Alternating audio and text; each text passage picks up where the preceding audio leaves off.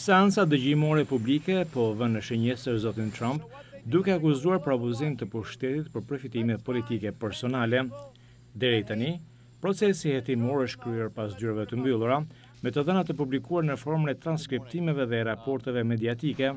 Profesori i Shkencave Politike dhe Komunikimit Leonard Steinhorn me Universitetin Amerikan thotë se seancat dëgjimore do tërheqin vëmendjen e shumë amerikanëve.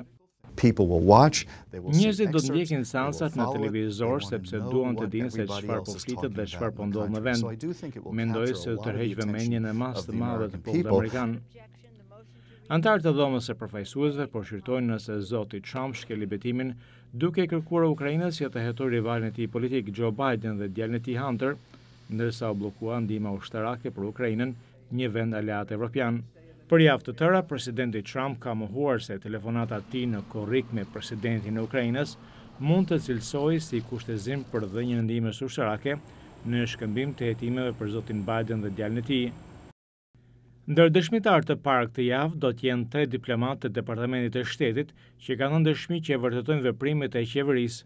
Republikanët duan të dëgjojnë nga të tjerët, përfshirë zotin Hunter Biden dhe individin anonim që nxiti hetimet. Nga ana tjetër, demokratët nuk ka gjasa që të bien dakord.